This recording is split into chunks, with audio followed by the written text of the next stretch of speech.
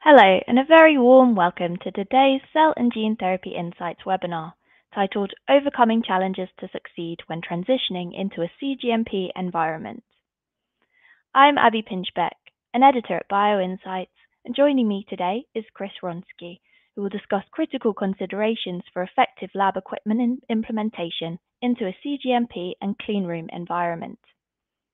After the presentation, we'll have a live Q&A session so do feel free to pose your questions to Kris using the Ask a Question box at the bottom of your screen, and we'll try to get to these during the session.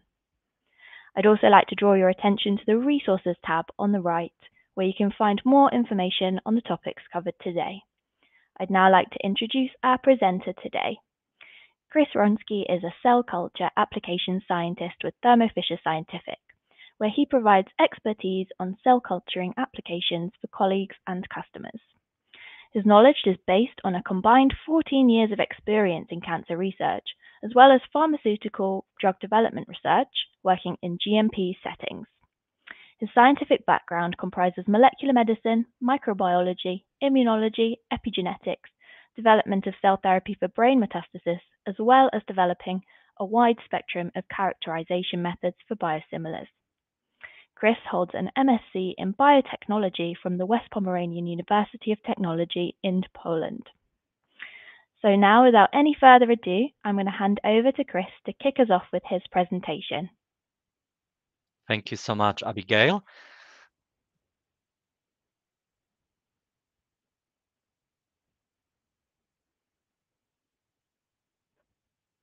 Okay, so very, very much welcome, warm welcome to my webinar. Thank you everybody for attending. Um, and we're going to concentrate today on a topic of CGMP. And just to be precise, overcoming the biggest challenges to succeed when transitioning from R&D into that CGMP current good manufacturing practices environment. So this, this first slide is actually I put together and it's important slide to pay attention because it comes really from my experience, from my experience dealing with um, customer troubleshooting, um, uh, small biotech customer, uh, just transitioning from that research and development phases and uh, going into the phases when they are planning to actually start producing the advanced medicinal product. And in these stages, unfortunately, most of the mistakes are uh, made. And here I have listed like most common mistake when transitioning from that R&D into CGMP when you require acquire uh, lab equipment because lab equipment and any type of lab, lab equipment is actually play a huge uh, role when you transition into that really highly regulated environment to these regulated settings. So, and what are the consequences for from acquiring equipment which is not CGMP suitable? So, first one, unfortunately, this happened probably the most often, acquiring equipment which is poor quality. Sometimes the judgment is made, okay, this is type of equipment, it doesn't need to be uh, very advanced. We can go for the cheaper options. And very often, unfortunately, it's not fit on purpose when you start operating in that regulated environment because it's completely different to that research environment. You can compromise safety, of your product, of your manufactured product. You can uh, you can have a lot of delays in regulatory approval process, and this can add costs uh, as equipment need to be simply replaced. And the second um, main challenge I listed here in the middle is underestimating documentation needs. Unfortunately, CGMP means documentation, documentation, and again documentation. You never can escape documentation. And it's not just for traceability, but also for equipment. A lot of documents have to come with equipment if you want to introduce that equipment to operations in the CGMP environment. And if you don't have that equipment at the beginning from your manufacturer, this obviously gonna have some consequences and these are prolonged and compromised qualification process you know that installation operation qualification that first process when equipment is introduced into gmp And of course, as well, you know, when you introduce that equipment and you make your facilities operational, you have to pass all the external audits. And if you don't have some document documents in a place, this can uh, result in delays in passing these external audits. And a third challenge is overlooking critical data-driven performance needs. So lab equipment this day come with a lot of different type of um, specification features. Uh, those features and that uh, they can be supported by a lot of scientific data testing, and you know this have to be looked really properly in. And as a scientist, we like to look and we like the scientific evidence to support every type of features we have uh, coming with equipment. So if you overlook this critical, some of the critical uh, performance uh, needs, this can result in compromise consistency between batches. So, you know, it's very important to produce uh, in consistent manner your manufactured product. And if that equipment doesn't reach specific performance needs, this can result, you know, in uh, compromising that consistency between batches. And this is not just in production, this is as well in characterization and quality quality control. Equipment have to be really spot on in that GMP environment, even in quality control, to produce, you know, that really reliable uh, data, reproducible data. Data integrity in that case is very important. So lower reprodu reproducibility of results um, can be a consequence on not having um, data-driven performance uh, when it comes to equipment. Okay, so our webinar, I divided into four sections. So the first one, we're gonna quickly remind ourselves GMP compliance framework of GMP compliance for advanced therapeutics and the main challenges. Then we're going to jump into role of equipment in contamination prevention because contamination, avoiding contamination and creating different contamination prevention strategies is very important for advanced therapeutics, for living medicines. Then the third chapter is on the value of effective documentation. And I know documentation can be boring, but I try to make it interesting. So please stay with me for documentation as well. And the last uh, is very, very important chapter. We're going to discuss the role of equipment in meeting performance needs. And I'm going to give you some real life example of um, equipment. And we're going to discuss this uh, in more details. So just to remind you uh, what CGMP is, current good manufacturing practices for advanced therapeutics and really for any type of um, uh, pharmaceutical product, these are guidelines. And these guidelines are in a place to always produce really safe, high quality and effective therapy for, for patients in very much consistent manner. And safety, safety is really connected to uh, maintaining really sterile conditions. And with this very well efficient, well-designed contamination prevention strategies. When it comes to quality of the your final product and efficacy, it's of course very, very critical to sustain. And actually as well, those two attributes can be correlated with equipment performance. And I'm gonna demonstrate how. So regulatory framework. So main regulatory framework framework here for uh, Europe is EudraLex Volume 4. And the part 4, part 4 is relatively new part because it was established and published in 2016, is specific to this advanced uh, therapeutic medicinal products. And you know, in that gray bar, I indicate what is really the main theme, what is the most important in uh, in uh, that part four in that guideline. So, pharmaceutical quality system and risk management strategies. So it's everything because the, this medication and production, evaluation, quality control, you have to have some level of flexibility. So unfortunately, if you have to introduce level of flexibility, you have to design really solid and effective risk management strategies.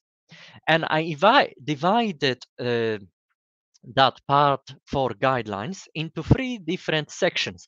The first one are general principles, and these are person training, uh, how the facilities are designed, how the equipment should be designed and function in these facilities, the rules on documentation collection, um, then quality management system obviously have to be implemented always in a place. And something even like sample management uh, system have to be implemented because you have to take the samples from production and evaluate them for quality. Then the second raw and starting materials. The quality of uh, starting raw materials is a key uh, consideration. Um, and the third product characterization and qc is it's a lot, a lot of uh, talking and a lot of discussion. This is a big topic because obviously the characterization in QC for living medicines like cell and gene therapies can be very challenging. Each batch really should meet very strict predetermined set of parameters, critical quality attributes. And for example, like with auto autologous uh, cell therapies, it's not easy task. And uh, just to demonstrate how equipment is crucial really uh, for all the three elements in that uh, guideline, I indicated here. So equipment as a principle, as a full general principle in GMP, then equipment obviously is involved in uh, producing, manufacturing those low uh, starting materials, and then equipment is used to evaluate quality of those raw and starting materials. And equipment is involved in and present on ev in every single method assay to evaluate uh, the quality of the final uh, manufactured product. So lab equipment can play a critical role in effective execution of that important risk management strategies. And quickly, I just want to emphasize uh, some of those uh, general principles present uh, in uh, GMP settings and what is different about them and what kind of challenges you can expect from these different general principles. So here we're to start from documentation, quality management, and equipment. Documentation uh, when it comes to documentation, and I have a lot of experience with documentation and with good documentation practices, it's not the most pleasant uh, experience because, but it's a must. Uh, this there is a lot of rules when it comes to do good documentation practices, and all of them have to be strictly followed because all these external and internal have to be passed. And there's many of standard operating procedures which are critical to follow and record with this GDPs for that traceability purposes. And challenge is just huge amount of, of these different standard operating procedures Link, to absolutely everything what you do in GMP. Uh, processes, um, manufacturing processes, then using the equipment, maintenance of equipment, and all the uh, quality control activities as well.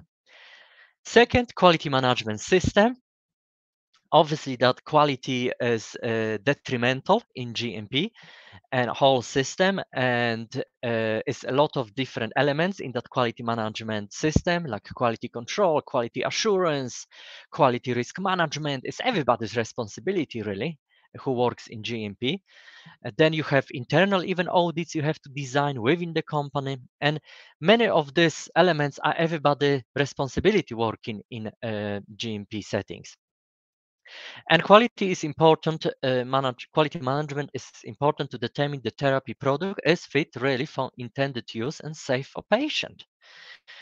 And equipment, equipment needs to support CGMP compliance. Equipment really have to become your partner when it comes to supporting and meeting that CGMP compliance. Performance of that equipment is very, very tightly linked to quality control data and quality of that manufactured therapy. And challenges is many of them because there are no single gold standard for equipment. And availability of necessary documentation which should come from manufacturer of the equipment. And compatibility general compatibility with gmp and then when it comes to other GMP uh, principles like facility design, so in CGMP, all the operational activities need to really flow efficiently. And this have to be uh, mainly to reduce that risk of contamination. And you know, you have many elements here again, cleanliness, sanitization, aseptic techniques, air quality if you operate in a clean rooms, particle monitoring in a clean rooms, again, that production environment, and validation of every type of uh, process, including disinfection procedures as well and cleaning procedures. Then training. When you train the staff to operate in GMP, is a long process. You have in a structured, very much structured. It can take up to six months, I remember, to train somebody coming into GMP to perform that quality control tasks, to be involved in that quality uh, management system as well. Uh, then challenge other challenges are with recording everything what the staff do. All the performance it has to be closely monitored. When it comes to sample management, so if you operate with samples in GMP, uh, the samples can have significant value, especially when you, for example, when you develop and you produce autologous cell therapies, those samples are very precious. You can't lose them, you can't waste them everything have to be function and operate like in a clock. And uh, yeah there's many limitation with cell therapy samples. Lot size variation of quality of the cells and short stability of the cells. So it's important uh, principle in gmp so let's jump now into role of equipment in contamination prevention. So can actually equipment impact safety of your therapy product and any type of equipment that therapy product have a contact with. And you, you know, the equation is simple. If the product is sterile, it's equal to patient safety. So it's really critical uh, to, to meet that uh, um, um, equation.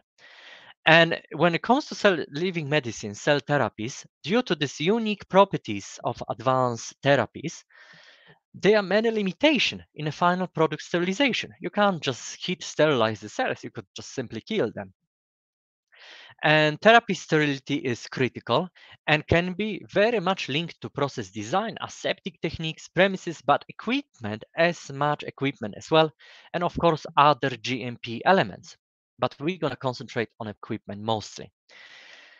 So here you have like a diagram from um, left to the right and you have cells for example you take the cells like t cells for car t therapy from the patient for example autologous uh, cell therapy and then that uh, that cells have to come come through the process through uh, all the steps of the workflow to become actually therapeutic product.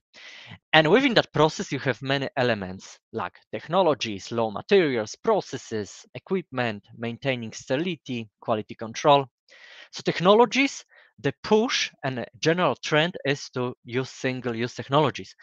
Main reason to reduce contamination.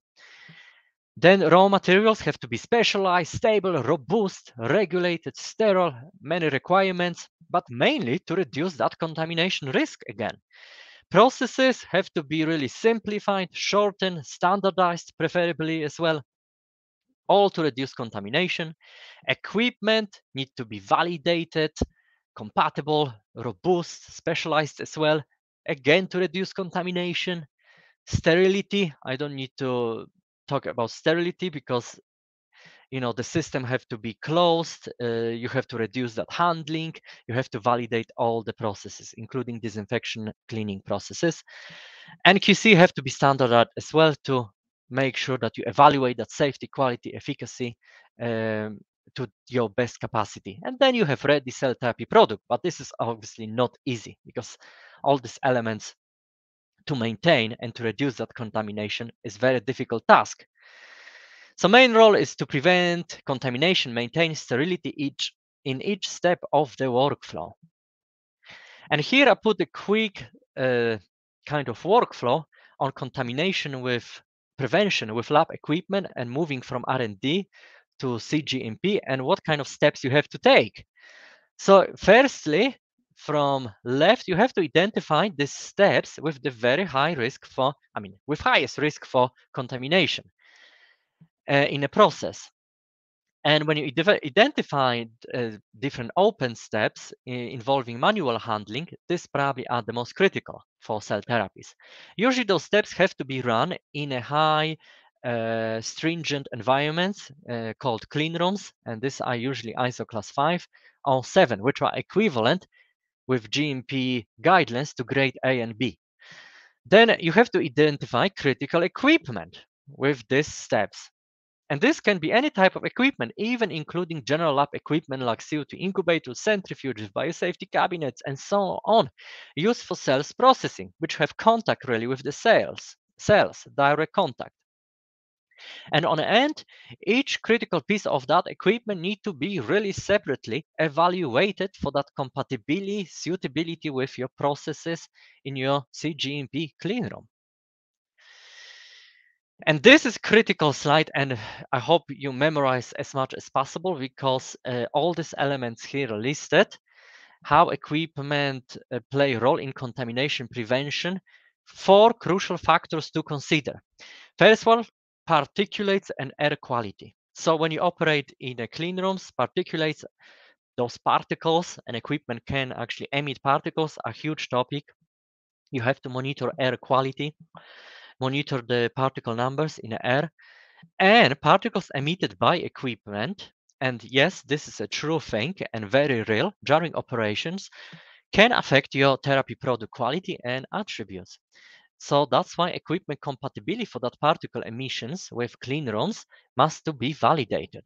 And we're going to expand on that. You have to define cleaning, define cleaning procedures as I said, is so many. You're gonna live with this cleaning and disinfection SOPs, and I can see constantly customers' main problems are coming with cleaning and disinfection procedures. The equipment is not compatible with what they design and validated. And the third one, define cleaning agents. There's so many different disinfection agents recommended for clean rooms and GMP and you know, you have to evaluate compatibility of these different stringent agents with your equipment. You know, the materials like even higher grade stainless steel sometimes cannot withstand some of this reagent in a long term, and then you can destroy your equipment. So compatibility have to be uh, evaluated and validated. And then going deep, deep dive into equipment features, how they are designed some of the features are really well designed, tested, evaluated, third part evaluated. This can be supported by scientific data to really fight that contamination and prevention of this contamination. So you have to look really for proof, really scientific proof of testing, validation, data, according very often when it comes to disinfection with pharmacopoeia standard. And in for European pharmacopoeia, this is a 10th last edition of pharmacopoeia. So clean room, if you're not familiar with clean room, this is very much controlled environment, very stringent. You have to monitor particulates and pollutants continuously, 24 7. This is critical. And uh, if you're moving to clean room operation, the biggest standards for you gonna be International Organization for Standardization, and that ISO standard 14644 part 1 from 2015 for classification of air cleanliness, you will have to understand very, very well. That ISO organization promotes global industrial and commercial standards. Air quality standards are based on established measured particle size.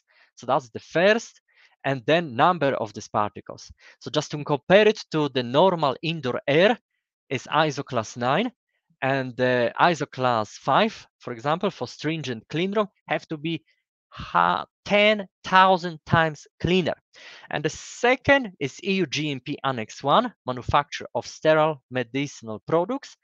And those standards actually very well uh, align it with each other when it comes to number of these particles. GMP additionally lists particles and uh, when it comes to requirements for equipment at rest and in operation. So the more the moral is, the more critical the process, product or process or your steps of workflow, the lower requirement for ISO rating and clean room has to be. Particles, where they're coming from. And this is actually pretty obvious. Most of the particles actually come from us. A lot of microbial contamination come from us and from air. Many of them are our skins. We are basically the perfect vector to carry all this type of microbial particles. And when it comes to non-viable particulates, and this out of particular interest when it comes to cleanroom operations as well, actually the biggest source in a cleanroom of the, this non-viable particulates after personnel is equipment. I couldn't believe it when I saw it first time. It was really difficult even for me to equipment uh, believe that equipment can emit so many particles, 15% actually. And when it comes to sources and different risks from these particles as well to your therapy and then to patient safety, those particles are divided into extrinsic with higher risk, like foreign and unexpected, like hair and fibers, intrinsic with moderate risk, like pack coming from packaging glass, and inherent with lower risk and expected, for example, from drug, like in terms of cell therapy, cell clones. And the risk to patient can be different as well. It can be really, really bad. Direct tissue damage, inflammation, immune responses, and so on. So it's critical to really reduce the numbers and make sure your equipment don't emit too many particles. So just some data for you, how the particles can affect your uh, medicinal product and your production. 22% US FDA recalls of sterile injectables from 2008-12 were caused by non-viable particles. It was the second leading cause of recalls between 2009 and 19. 1.6 million Moderna vaccine shots suspended were suspended in Japan. And obviously audit risks as well. You're not gonna pass, it's gonna cause a lot of delays, costs. So yeah, particle are big deal. And so how this translates to equipment. Here is an example, perfect example. Look for design which controls particle emission. Actually, equipment can have a special integrated new technologies which can control the particle emission. This can be active systems, and this is example of Thermo Scientific Heracell Vios CO2 incubator, cleanroom compatible. This is a special vacuum system designed to really control release of particles in operation. CO2 incubators actually can emit a lot of them and facilitating compatibility with ISO class EVEN 5, which is GMP grade 8B. What else to look for? Look for equipment certified for cleanroom use. So here is example, this cleanroom compatible incubator was third party, had to be third party evalu evaluated by TÜV industry service according to this another ISO standards. So the first one is known already, we mentioned classification of air cleanliness. And the second, the most important for equipment evaluation is part 14 of that standard, assessment of suitability for use of equipment by airborne particle concentration. And you know, I attended Cleanroom Technology uh, conference last year in um, here in UK, and to my surprise, the company is even producing the doors for cleanroom operation they have to put them through this type of independent tests. So the particle is a big deal. Everything, most of the, well, everything, that's how we go in that direction, should be evaluated for particle emission.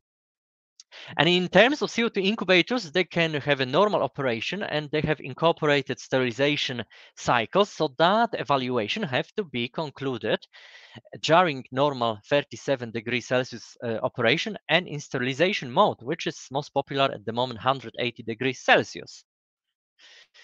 Look as well for documented assurance for cleanroom compatibility. Yes, you have to request the special certificates because you will need them for evaluating the, that compatibility, for incorporating that equipment, and for, for passing external audits. Second thing, I mentioned those disinfection protocols already. This is the most popular one. You know, in these clean rooms, very often full room fumigations uh, procedures have to be incorporated. And this is example of uh, one uh, by VHP, vaporized hydrogen peroxide, is increasingly used in a clean rooms, has to be performed by trained technician. Concentration of H2O2 are very high, over 35%. What important, the wet procedure is really not recommended. It should be only dry because otherwise it's very, very difficult to make it even compatible with high grades of stainless steel. And the um, evaluation should be independently performed um, if your equipment is actually compatible with this type of cycles and this type of disinfection procedures. Otherwise, as I mentioned, on the line in long term, you can end up with replacing all your equipment in a clean room and you don't want that.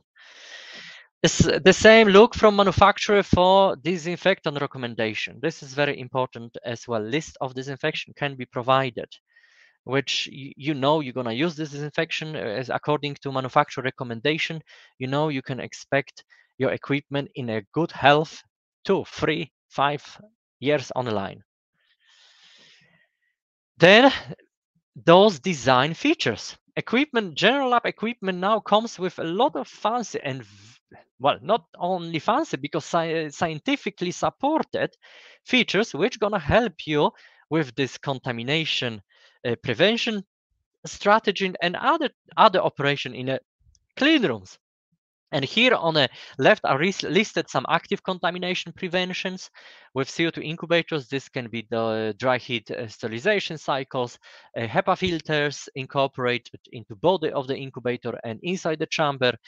Centrifuges, you can have third-party validated biocontainment leads. So we have to move move the bucket with the least leads from centrifuges to biosafety cabinets. You know, you have assurance of that biocontainment. Biosafety cabinets can come with even self-adjusting UV intensity. So you know disinfection protocols are always effective at any time. Then you have on the right here listed some of the supporting contamination control features, I call them. And this in terms of CO2 incubators, they can promote easy cleaning, disinfection, can be built in water reservoir. You can't use just a simple water pan um, in a, a higher class clean rooms when it comes to centrifuges, auto lock for fast rotor exchange, so, so processes, everything what is easy, easy, make easier your operation and faster and more efficient, obviously is very hugely beneficial in the clean rooms and in GMP in overall. And biosafety cabinets, you can actually open, and you have picture here, full that and this allow you to really properly clean and disinfect the, that biosafety cabinet inside, which is not always possible with that little opening at the uh, um, and I know that from experience cleaning very uh, everyday biosafety cabinet inside. So here you have example of another so of feature um, incorporated into CO2 incubators, which is which is validated, third-party validated sterilization cycle, 180 degrees. This is incorporated to Thermo Fisher uh, Hera incubators. This have to be according to European Pharmacopoeia 10th edition and that edition actually uh, lists requirements and one of them is for forced air circulation. Here is the direct quote from it. A lot of incubators on the market you find now they don't have that gentle air circulation inside chamber so they don't meet it straight away that requirement. Then you have to have a temperature mapping. You have a graph on the right example the data you have to evaluate if the temperature of 180 degree is reaching on every corner in that CO2 incubator to have assurance total elimination. And then Thermos Fisher Scientific is really proud and emphasize that we have independent third-party testing to show 12 log sterility assurance level, which is really this differentiate us from other competitors. On the bottom, you have a table with biological indicators because when it comes to heat sterilization, you have to use Bacillus atrophaeus spores, which are indicators for this type of disinfection procedure. Values of effective documentation. I'm going to try to be quick but emphasize the most important things about documentation for you to keep in mind. Overcoming equipment challenges with effective, and this is important, effective documentation. You have to first understand what type of documentation uh, are required. So I try to categorize them in some way to help you understand them. So the first one, you need the documentation which come with equipment required for that qualification, installation, operation qualification process. You know, that first process when you introduce equipment in GMP. This have to prove that equipment and individual parts in from that equipment are designed, tested for intended use. This is unique set of documentation which you can request from manufacturer. Then you have set of documentation which help you evaluate compatibility with your production process, with your quality control as well methods, operating, operating procedures. And why? Because to establish potential impact of different materials in that equipment to your cell quality. Then third part of documentation, and I can't really emphasize that enough, they use cleaning, maintenance, standard operating procedures. You're gonna live on daily basis with all these procedures. Is so many of them. Periodic performance verification day-to-day use. You have general specific cleaning. It's just not not even one type of cleaning. It's quite quite complicated. Example of documentation required for effective effective qualification can be what is called FAT. This is listed, examples are listed on the left. Factory Acceptance Test Report or design qualification, technical drawings, um, technical data sheets, different certificates. So you have examples of, uh, of here on the uh, left. And what kind of benefits? Well, a fast evaluation of that equipment suitability. You can stay on schedule. We see so many companies are delayed months, you know, uh, when they don't have the set of this documentation.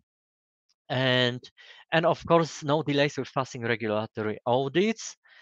Then proof of compatibility with your uh, production quality procedures. Examples can be temperature sensor calibration certificates key material of construction uh, specifications um, quality management system certificates. So it's many of them. And the last one here and probably most important for clean room operation and equipment for ISO class 5 and GMP grade compatibility certification. And benefits, again, fast verification of that compatibility with your user requirement specification, very, very important document, URS, and saving, again, time and resources associated with process validation. Look for documentation required for effective cleaning and disinfection. And again, examples can be step-by-step cleaning procedures, compatibility with that example of vaporized hydrogen peroxide disinfection procedure, list of uh, disinfecting agents. And benefits are endless again. So you, you can simplify your process for developing new SOPs really. You can just copy, if you have them provided from manufacturer, you can copy, adapt them into your SOPs, um, more efficient personal training, saving time, resources, validating these procedures in-house. It can take forever to validate them all in-house. Last chapter, role of equipment in meeting performance needs. So can equipment impact quality of your therapy product? And another equation, very important to meet, consistent performance of your equipment is equal to high quality therapy. As simple as this. I mean, it's not as simple, but very important to meet that equation. It is critical to sustain that high quality and every step of the workflow and lab equipment specs, design feature, consistency in performance can be linked with achieving those desired quality um, attributes critical quality attributes of your manufactured product. And as example, I'm gonna use cleanroom compatible CO2 incubator because they are used extensively now. Here you can see example with in combination with G-Rexes, static bioreactors. They're used very often for autologous cell therapies in cleanroom environment, mostly ISO class 5. Each parameter which that incubator have to sustain can affect cell growth. And cells these are challenging cells, these are primary cells, they respond to those changing condition very fast and this can affect the quality of a final product. Variation in your incubator condition, equal variation if in quality of therapy product. Performance is more than just a list of specification. You have to look for performance data, request the data and a manufacturer usually have to test it and can provide to you this data when requested.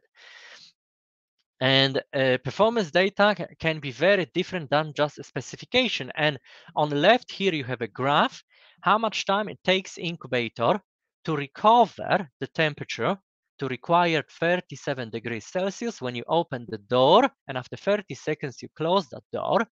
So that recovery in this in this case it takes 5.2 minutes. So temperature is critical for the cells and that recovery of temperature as well.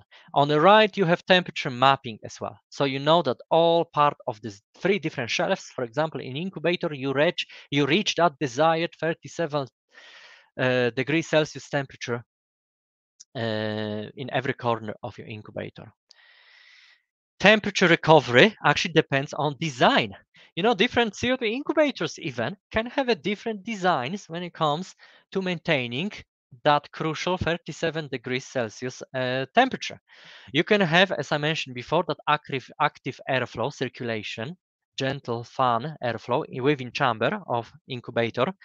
And this is very critical for recovery of that uh, temperature. With the fanless chamber, with the simple design chamber, that recovery unfortunately doesn't happen as quick. And when you have the sensor for that for recording that temperature located not in a main chamber of incubator in so-called bypass sensor in different chamber that recovery and uh, registering that changes in temperature can even delay recovery.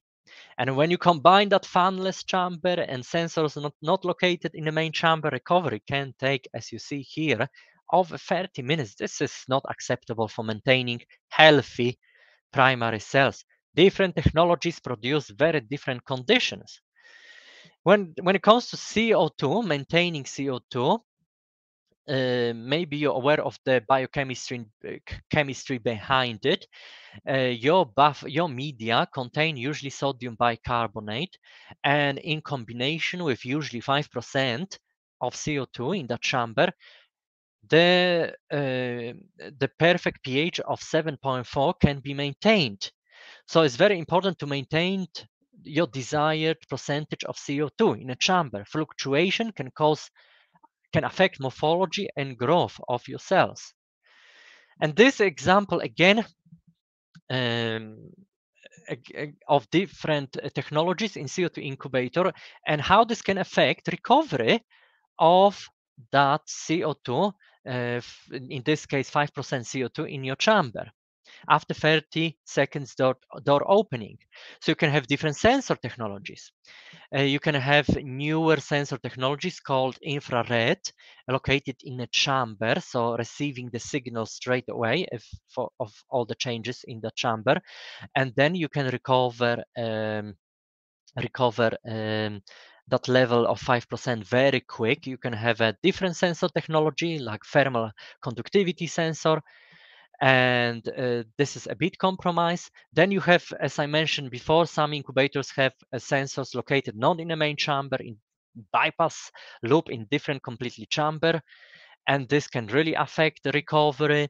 When you don't have a fan, when you ha don't have that gentle airflow in a chamber, this can really affect CO2, as you can see on this graph. And when you have a combination, and this is really, really bad. So different technologies produce very different conditions as well for CO2 recovery. And this is for humidity, uh, recovery of humidity. This is very important parameter as well, uh, especially if you operate with smaller volumes uh, of media in your vessels. Um, you, you want to make sure you maintain humidity uh, over 93%. Um, because if you're not, you have a speedy evaporation, and this can uh, um, um, basically uh, basically affect you know concentration of the salts minerals in the media um, and this can become toxic to your cells. And um, actually evaporation is four times faster when humidity is only 80 percent. So you see how important it is to maintain it on really high level 93 percent and more so it's critical for healthy cells. And here again, this is different designs for uh, that humidity recover, different technologies to maintain that over 90% humidity. how long in minutes takes to recover. So if you have a protected integrated reservoir, and this is a new technology, a very specific to Thermo Fisher Scientific, and for example, that Heracell VIOS clean room compatible incubator, the recovery of humidity after door opening, as you see, is very fast. On the left, that uh, very blue bar. Then when when you open that integrated reservoir, this is affected a little bit.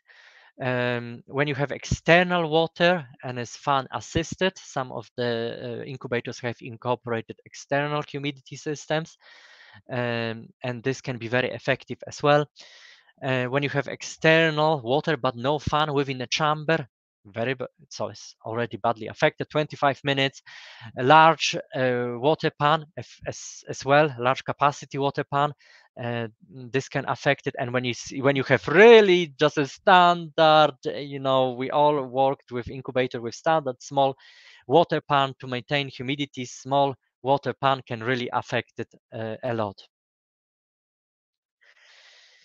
Okay, and the same is when it comes to uniformity. Gases within a chamber, if you don't have that gentle airflow, that um, um, that fan to maintain that gentle airflow within a chamber of CO2 incubator, you create artificial atmosphere. Uh, you know, CO2, if you have to maintain CO2 at level of 5%, obviously that gas is actually heavier, so it goes down, and nitrogen rises. So, you know, your cells, and I can see this with very challenging cells with some customer cases, the cells placed and or assays run and placed on a top shelf or bottom shelf when the incubators are simple design without uh, gentle airflow, this can affect really results and um, quality uh, and the producibility and consistency of uh, uh, then of your produced product or your quality control assays. Air circulation is really very important when it comes to CO2 incubator. So performance matter, even with equipment, and you could maybe not think about CO2 incubators, can be very critical as well, especially when you use it in clean room to expand your precious, precious, cell therapies. And here is example G-Rex bioreactors in Heracell VIOS clean room compatible Thermo Fisher Scientific Incubator. So just to, con to conclude, conclusions, how to overcome again critical CGMP challenges. When so the lab equipment have to become your CGMP partner. Firstly, we discussed that contamination prevention strategies, how crucial part they play with living medicines, advanced therapeutics you have to have that consistency in producing that pure and safe therapy product. And you want really achieve that long-term cost savings with robust and CGMP compatible lab equipment. Uh, we touched on documentation, different type of documentation, why they are important. In a, so firstly, in that efficient and timely qualification process, then in compatibility with each step of the production and quality control processes, and passing those most important regulatory audits so you can start operate. And third thing we discussed, meeting performance needs. You need to have consistency in producing high quality and effective therapy with every batch, with every batch when it comes to producing advanced therapeutics, and as well with every assay, every method you run in in GMP quality control labs as well. And achieving reproducible results and data integrity, obviously, uh, this is very highly uh, connected with equipment performance as well. And the answer to it, the answer is become CGMP compliant with Thermo Scientific Cell Therapy System, CTS we call it. We have different type of product categories across the whole company, across different division within Thermo Scientific. And CTS series lab equipment can be answered to many of the challenges we discussed today. So we have equipment, products for cell uh, for CGMP needs, CO2 incubators, centrifuges, biosafety cabinets. They come with special documentation pack. We are differentiating ourselves. We are first first manufacturer which thought about it. How much easier is to make it for our customers to put this documentation and make them accessible you know to you from beginning so you don't have delays you don't have to request them individually makes life so much easier and then we have of course as a part of thermo scientific our compliance services to take care of in uh, doing that iq or q qualification process, then uh, scheduling um, uh, maintenance, uh, preventative maintenance for your equipment on all type of services as well. And just quickly, just quickly, advanced therapy manufacturing resources I really want to mention. Um, so as I already mentioned, across different divisions, and we have so many brands under Thermo Fisher Scientific, and I'm sure as a researcher scientist, you are familiar with Invitrogen, Applied Biosystems, Unity Lab Services, Gibco, you know, so all us come together to serve you when it comes to this advanced therapeutics, producing these advanced therapeutics in strict environments, and also characterize characterization and quality control for those uh, therapeutics. And we also have on a board leading CRO and CDMO services with uh, newly acquired companies, PPD and Patheon. Um, uh, so this is very, very important to keep in mind that we can really uh, become quite a great partner when it comes uh, to full process, full workflow uh, for advanced therapeutics.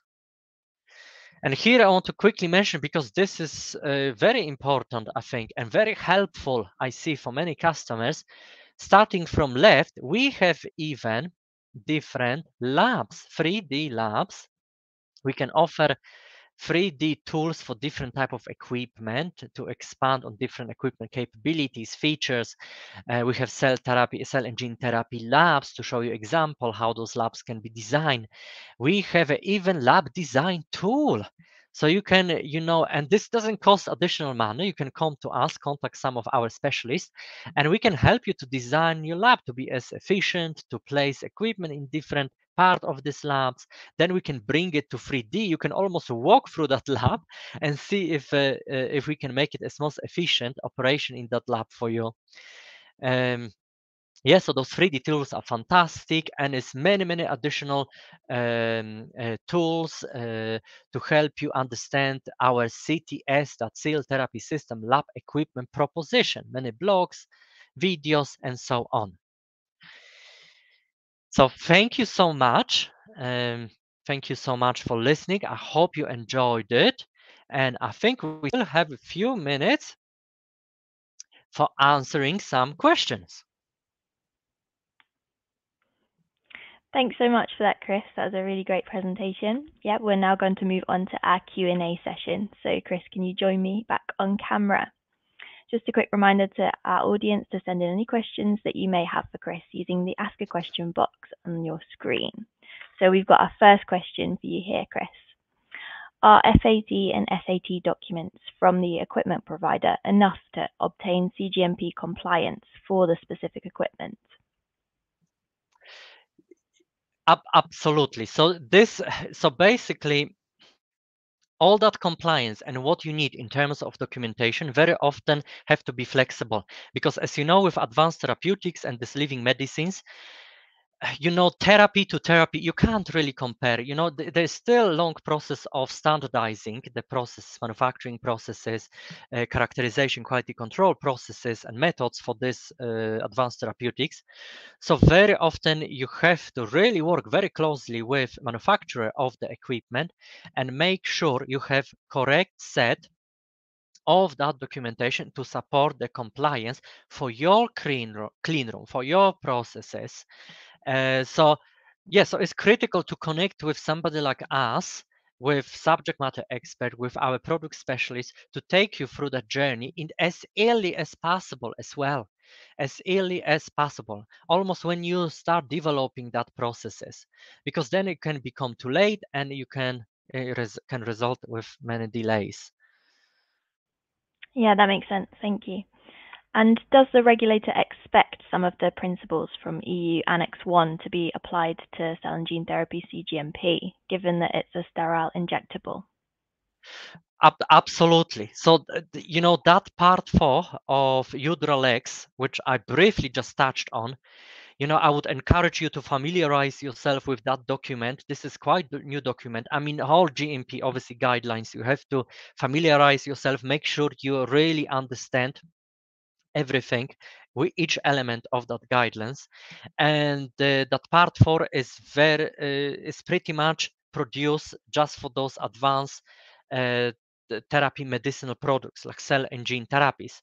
And you know it's a lot of flexibility within that within that part four but you have to meet pretty much is some level of flexibility but you have to work with regulatory bodies together as well very closely and make sure that you match as much of that guidelines you can implement as possible in your processes. So it is very, very important, yes, you, to understand it, to work closely with regulatory body, to work closely with uh, Thermo Fisher Scientific as well in that journey. That's a great answer, thank you. And another question here, when qualifying a vendor, how important is it that their GMP products follow USP 790 and 788? For visible and subvisible particles? Super important. And this is uh, when it comes uh, not only to equipment, but raw materials. So, you know, within Thermo Fisher Scientific, that CTS cell therapy system products, obviously we have for different reagents and uh, starting materials as well. And I know we produce some of those reagents uh, as a research grade and you know they don't have as much backup in terms of validation testing documentation. And when it comes in a, and we have a grade of which is compatible with cGMP operation. And I know that list of documentation and requirements we have to meet as a supplier, as a vendor, which you have to validate is very, very long. So that's why you have to connect with us in these early stages and evaluate all of this, what we have to offer for you. so yes, absolutely. This is very important um, in a vendor qualification process to connect with us and see what we have for different lab equipment, different reagents, and so on. Yeah, that's good to know. Thank you. And for CAR T and other cell therapies, have you performed aseptic process simulation, which is equivalent to MediaFills? So, you know, we work with many customers developing, and obviously CAR T therapies, as you know, they are the most probably developed in, in the market when it comes to cell therapies. Um, we perform different simulation. We um, some of the cell processing equipment obviously we can bring to the customers as well and schedule different simulation. And we can help with that process uh, development obviously implementing all um, that sterility element and uh, aseptic technique elements into that process as well connecting different equipment connecting different steps of your process. Um, uh, so this is definitely something we can help as well. We have actually separate division, which is uh, as well dedicated, super, super focused cell and gene therapy business unit division, which links all our division, other divisions and departments as well. And they super knowledgeable scientists and subject matter expert. And, you know, they can bring other specialists from other division. And, you know, if you require something uh, like hands-on process optimization, this is something we can help with as well. Great, thanks, Kris. And does the product characterization and QC testing on the final product have to happen in a clean room? No. so, so this is, you know, I notice very often is misunderstanding of of uh, understanding well two environments. You have a clean room, like ISO class 5, ISO class 7, when you produce the therapeutic, and this is designated to only that production process. Mm. And then within that production, in different stages of that production, on and the end of that production, you have to develop a standard operating procedure on taking the samples and when you take the samples, those samples are moved then to quality control labs which are ruled by GMP, but they are not clean rooms. And usually those samples after evaluation, they're not gonna go back to patient. Usually you discard the samples. You know, you can't recover these samples after characterization and quality control. So they don't, they're not gonna go back to, you know, to patient and they're not gonna treat the patient. So there are two different environments as well. So you, if you require more information how those different environments, QC GMP environment and cleanroom environment, uh, function differently, yeah, we can absolutely help as well with understanding those two different environments. Thanks, that's good to know. And we'll just squeeze in one final question here. Can labs have their old existing equipment recertified to be CGMP compliant if they have not been previously? Okay, so this is I'm I'm so so glad this uh, question was fished out and asked because you know I usually the very common question is Kris when I should think about equipment, acquiring equipment, and thinking about equipment. Um, you know, for my uh, future production process, because I'm in the stages of just research and development. I'm just developing my process. I'm just developing my characterization methods, you know, quality control methods, you know, uh, it's not as critical yet. And then they find out on the line that a lot of that equipment can be not easily transferred to that clean room operation or even that GMP quality control labs you know very often it doesn't meet requirements to be transferred to this uh, more strict environments they you know i see people they have to validate and incorporate so many cleaning disinfection procedures to keep that contamination under control and you know a few weeks after light the equipment suffers so badly from these different stringent uh, disinfection agents, um, cleaning procedures, they have to replace the equipment anyway. So earlier, earlier, early, uh, the most early you start thinking about equipment is better. And a second element, remember that earlier you choose the right equipment, which you can take with you to that GMP environments, is more chances that the process you develop with that equipment gonna be transferable, very well transferable, you know, to that GMP, and you're gonna still maintain that consistency, reproducibility. Because if you're gonna start changing equipment, then after going to the GMP, you know, very, and you can see it all the all the time. They don't they don't end up with the same results when it comes to that consistency and reproducibility and this is you know so the first thing compatibility of equipment because you can destroy equipment with cleaning procedures and i think the most important second one you don't achieve very often consistency as you had in that research and development phases Thank you so much, Kris, for answering all of those questions. That's all we've got time for today, unfortunately, but any questions that we didn't manage to get to, we will reply via email. The webinar will be available on demand tomorrow, so look out for an email from us with the link. And all that's left is to thank Kris once more for a great presentation, and thank you to our audience for watching today. We hope you'll join us again soon. Thank you so much.